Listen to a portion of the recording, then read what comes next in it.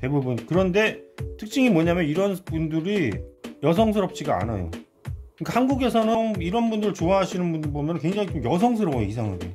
트랜스젠더 아닌지 막 이런 오해가 갈 정도로 여성스러운 말투를 쓰면서 그러니까 한국에 그 트랜스젠더 있잖아요. 지금 최근에 그 풍자님이 굉장히 내 인기를 끌고 있잖아요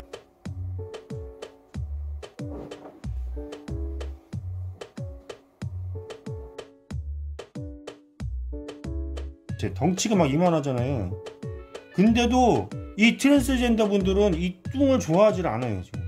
그러니까 이 부- 트랜스젠더와 그냥 일반 분들하고는 또 취향이 완전히 틀린데 한국에서는 이 여성적인 말투를 쓰시는 분들 이 트랜스젠더는 아닌데 이런 분들하고 트랜스젠더하고 취향이 같아요. 다 이렇게 이런 사람들 배 나오고 아저씨 뭐 이런 사람 싫어하고 이런 사람만 좋아해요. 예.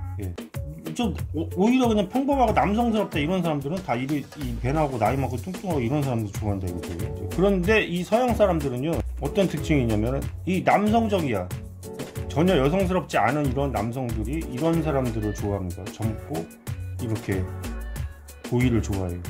근데 한국에서는 이런 사람들은 이런 사람 좋아하고 트랜스젠더나 이런 분들이 이런 조, 좋아합니다. 그러니까 풍자님도 자기 스타일을 얘기하는데 어떤 사람 좋아하냐. 그러니까 그렇게 얘기를 했어요. 좀 날씬하고 조인성 씨 같은 분들.